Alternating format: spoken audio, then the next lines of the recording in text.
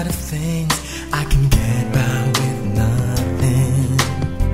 Of all the blessings life can bring, I've always needed something. But I've got all